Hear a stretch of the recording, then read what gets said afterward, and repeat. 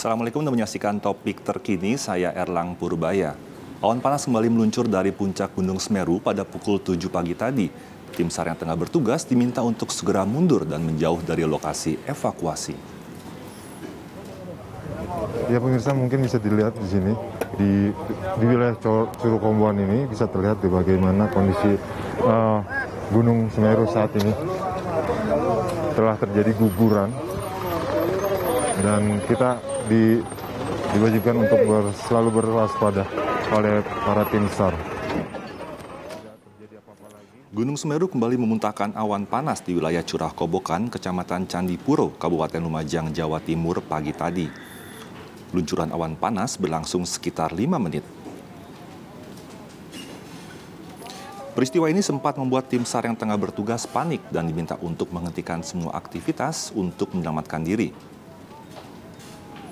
Menurut tim liputan Antv yang berada di lokasi, saat ini tim SAR telah kembali melanjutkan proses evakuasi karena aktivitas Gunung Semeru sudah menurun. Sementara itu, tim K9 dari Polda Metro Jaya dan Polres Malang Kota sudah menemukan dua titik lokasi yang diduga terdapat korban jiwa di wilayah Sungai Curah Kobokan.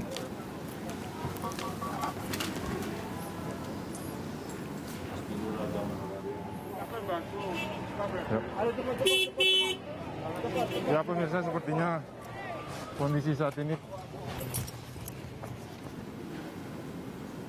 Demikian topik terkini, saksikan topik terkini selanjutnya. Ayo pakai masker, ayo cepat vaksin. Saya Erlang Purbaya.